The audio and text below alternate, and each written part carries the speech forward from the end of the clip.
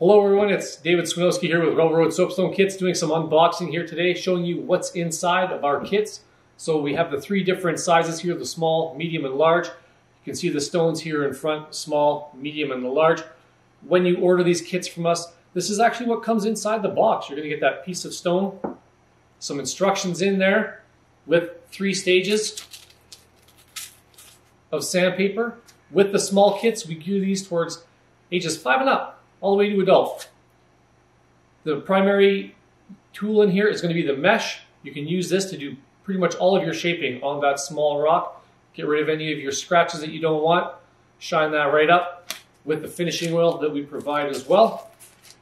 If you want to step it up to something a little bit more challenging, say a medium or a large, you're still going to get three pieces of sandpaper inside that kit. But your primary shaping tool is going to be the steel rasp that we include in there for you as well. If you have any questions or would like to see more from us, check out our website at rubble-road.com.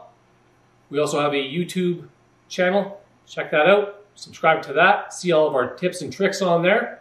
And if you would like some more detailed instructions on our website, there are some downloadable PDFs so this is what is included in the Bison kits, the small, medium, and large. Again, my name is David Swinowski. Thank you very much. Have a great day.